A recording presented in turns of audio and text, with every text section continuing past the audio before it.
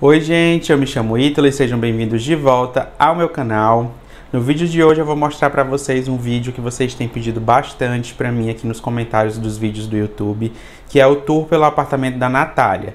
O apartamento da Natália é aquele apartamento que eu transformei inteiro aqui pro canal, inclusive tem uma playlist toda dedicada só para ele. Eu vou deixar aqui na descrição do vídeo caso você queira acompanhar aí todo o processo desde o comecinho. E aí hoje eu vou mostrar para vocês todos os cômodos um a um, tentar explicar rapidinho tudo que a gente fez em cada cômodo. E lembrando, pessoal, a Natália já está morando no apartamento, então o apartamento está cheio de coisas pessoais dela. Eu vou tentar passar assim bem rápido, só para mostrar para vocês mesmo como ficou o resultado final deste apartamento. Então peço a compreensão de vocês quanto a isso. Lembrando mais uma vez que se vocês tiverem dúvidas é só perguntar nos comentários, que eu sempre tenho o maior prazer em responder. Então bora lá para esse tour. Bom, gente, vamos começar aqui por fora, né? E aí quando você entra, você já tem essa vista do apartamento todo, né? Aqui a gente tem cozinha, sala de jantar e sala de estar lá no fundo, que foi o projeto, a planta, né? O layout que a Natália mais gostou que ela escolheu. Então na cozinha, quem acompanhou o vídeo da cozinha viu que a gente fez esse móvel inteiro, né? Tanto esse móvel aqui de MDF como aquele móvel ali de pinos. E esse aqui ficou embaixo da pia, móvel do cooktop. A gente criou aquelas prateleiras ali em cima. Aqui é um shaft do próprio condomínio, do próprio prédio. Para não ficar feio, a gente cobriu esse shaft, né, com um pedacinho de MDF também. E aí ela usa, como apoio aqui, né, a Natália já está morando aqui nesse apartamento há uns 3, 4 meses.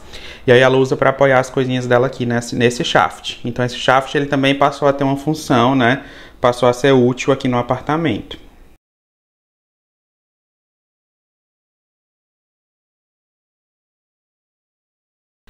Aí vocês lembram, né, que isso aqui é um revestimento, que é igual aquele revestimento ali do lado, que a gente fez foi cobrir com esse adesivo vinílico aqui de granilite, que ficou bem legal, bem interessante. Aqui do lado a gente criou esse móvelzinho. Aqui, gente, a gente tem o botijão de gás escondido ali dentro. Aqui é a pia da lavanderia, que aí quando a gente quer usar, né, no caso quando a Natália precisa usar, ela remove essa tampinha aqui e aí ela consegue usar a pia da lavanderia. E embaixo dele Embaixo da pia da lavanderia a gente tem um botijão escondido e aí por isso que esse móvelzinho é vazado, justamente porque precisa circular ar para que o gás não fique preso, qualquer vazamento não tenha nenhum problema.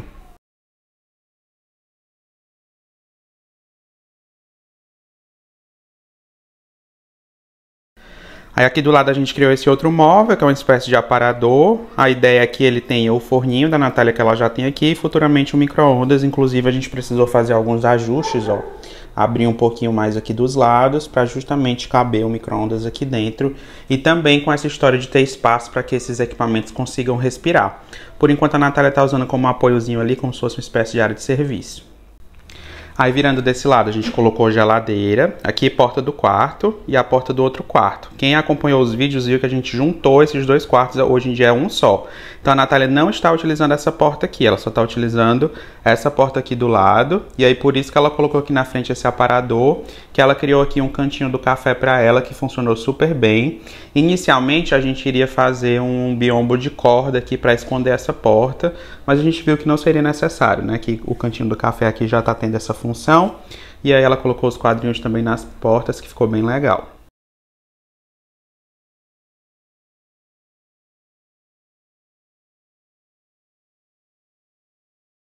Aí do lado a gente tem um aparadorzinho, que é um aparador também que dá apoio para a cozinha, né? Que tem espaço, ó, tem é, portas, tem gaveta também.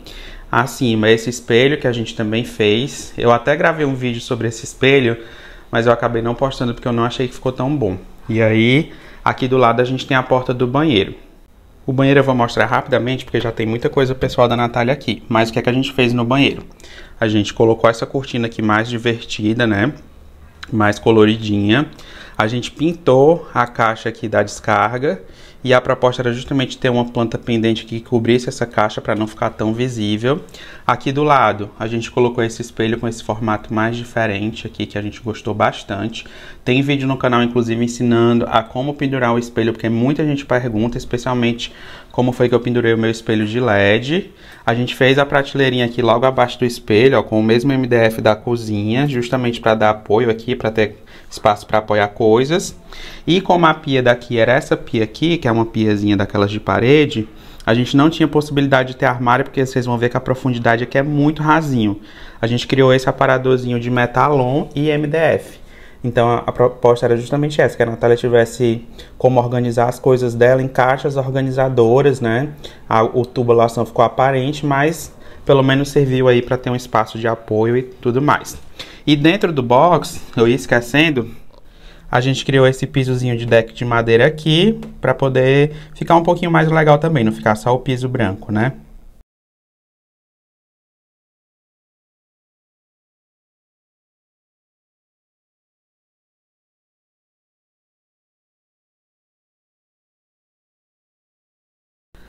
A sala de jantar ficou bem no meio do espaço, né? Ela meio que faz essa divisão entre sala de estar e cozinha, só que ainda tem esse espaço de circulação enorme que ficou muito bom. E aí a gente comprou essa mesa, gente, na Stock, é uma mesa com a base em metalon. Ó, mesinha branca. E a gente mandou fazer esse tampo sob medida. É um tampo de MDF engrossado, ó, ele tem o dobro da espessura de um MDF de, de 15 milímetros, né? Tem 30 milímetros. E no mesmo MDF que a gente tem na cozinha e no banheiro. E logo aqui do lado colocamos um quadrinho para dar um pouquinho mais de vida aqui para a área da sala de jantar.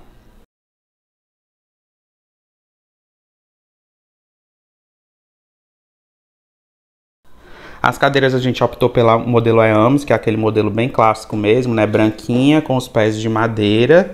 E para deixar ela um pouquinho mais confortável, a Natália optou por colocar essas almofadas aqui. E para ficar mais confortávelzinho para sentar, né? Eu vou filmar a sala de estar aqui da varanda. Desse lado a gente tem o rack da Natália, quem acompanhou a montagem dos móveis viu, televisão. E logo acima a gente tem dois quadros. Por quê? Porque o que a Natália fez foi o sofá no projeto original, ele tá nessa parede aqui e o rack naquela lá. É por isso que desse lado a gente tem essas prateleiras com livros, justamente porque a TV ela ficava nesse espaço que, que tá vazio. O que acontece é que, como o sol muda ao longo do ano, a Natália me falou que o sol estava pegando muito forte nessa parede ali na TV. É, ela preferiu inverter para não ter esse problema com o sol. E aí é muito legal porque, justamente, às vezes a gente faz um projeto e aí com o uso a gente vê que algumas coisas não funcionam muito bem. E, e ela sempre vai ter a possibilidade de retornar as coisas para o lugar quando o sol também mudar de posição, que muito provavelmente vai acontecer. Apesar de ser uma sala pequena, ela ficou bem confortável, né? Coube um sofá de dois lugares. Eu gosto muito desse sofá, inclusive. É um tecido de linho, não é um linho natural, é um linho sintético, mas tem essa estrutura em madeira, então essa é uma dica bem interessante quando você tem espaço pequeno. Procure um sofá que esteja longe do chão, que esteja elevado, justamente para não dar a impressão que o ambiente é ainda menor. E aí, como vocês estão vendo, ó, ficou uma circulação muito boa, né? A gente tem rack desse lado, sofá desse, ainda coube mesa de centro e ainda assim a gente circula bem, tanto desse lado como desse lado aqui. Quem viu a parte da iluminação viu que toda a iluminação dessa área é feita com trilho eletrificado, tanto aqui como ali, ó. E aí a noite fica super bem iluminado. E nessa porta de vidro que dá acesso à varanda, a gente optou por colocar uma cortina para quando a Natália quiser fechar e ter um pouquinho mais de privacidade, ela conseguir. A varanda, ela tá praticamente igual a quando a gente terminou. Tem um vídeo específico só da varanda aqui no canal, então eu não vou falar muito. Vou deixar o link aqui na descrição para vocês irem ver. A única coisa que a gente fez de diferente na varanda que mudou foi que agora a gente tem este biombo de corda nessa área aqui que não tinha, estava aberto. Aí a Natália resolveu ter essa ideia de fazer, de repente colocar uma planta pendente aqui. E aí a gente colocou, hoje inclusive acabamos de fazer, ficou bem legal. E aí o biombo de corda é interessante que você tem a opção de colocar mais corda, de fechar mais, deixar mais aberto. Mas já ficou bem interessante assim, principalmente porque foi feito com madeira e corda, que são elementos que estão muito presentes aqui no projeto da Natália, né? A gente tem ali o deckzinho de madeira com a planta em cima, as prateleiras que são dobráveis, como vocês já viram no projeto da varanda, e um banquinho que dá apoio para essa prateleira.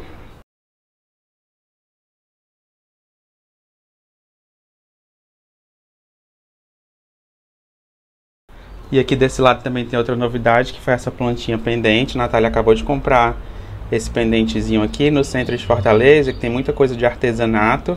A gente pendurou agora. E aí faz uma composição bem legal com o quadro que está aqui na parede, né? Aí mais uma prateleirazinha dobrável e o banquinho de madeira aqui. Então nessa área aqui a gente tem toda a área social e tem a varanda também, né, que é uma área social, tudo integrado, extremamente integrado. E aí essa foi a proposta que a gente conseguiu. Como eu falei para vocês, tem vários vídeos no canal já mostrando cada é, a evolução de cada ambiente, da cozinha, da varanda e do restante daqui da sala também, a montagem dos móveis. Então quem quiser ver direitinho, eu vou deixar na descrição do vídeo aqui os links para os vídeos. Os quartos, gente, na realidade, o quarto, né, eu vou mostrar aqui da varanda mesmo uma vista rápida e depois eu mostro alguns detalhes lá dentro. Eu não vou mostrar muito porque, como eu falei, a Natália já está morando aqui, então tem muitos itens pessoais, não é legal ficar mostrando. Mas eu vou dar uma visão geral para vocês como é que era e como ficou agora e vou mostrar alguns detalhes que eu achei interessante mostrar. Então, essa é a vista que a gente tem do quarto hoje. Antigamente, onde tem aquela estante de livros, tinha uma parede. Então, a gente tinha um quarto pequeno desse lado e um quarto pequeno do lado de lá, que é onde está a cama. O que a gente fez foi demolir essa parede, juntar esses dois quartos para ter um espaço maior integrado e usar essa estante de livros como uma separação da área íntima, né, que é a área de dormir, dessa área de cá que ficou uma área mais de se vestir, uma área de estudo e de trabalho.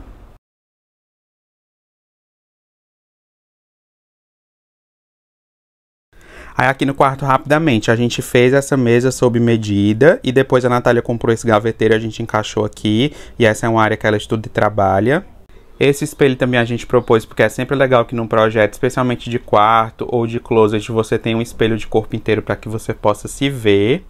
E aqui tem a cômoda, né, que é uma cômoda que está fazendo muito sucesso recentemente agora no YouTube, que a gente pintou, era uma cômoda de madeira, e a gente pintou dessa cor, que é um azulzinho claro, que combina muito com a proposta aqui do quarto da Natália.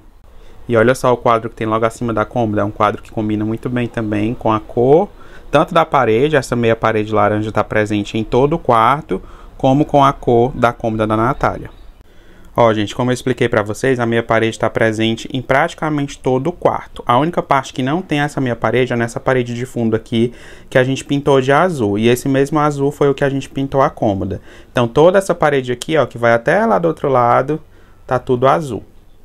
Essa estante de livros foi um estante que a gente já comprou pronta e colocou nesse espaço. A única coisa que a gente fez foi parafusar essa estante tanto na parede aqui do lado, como parafusar uma estante na outra para que ela ficasse bem firme. Então você pode balançar aqui, ó, que ela não tem nem perigo de cair, especialmente porque a gente tem uma área de passagem aqui.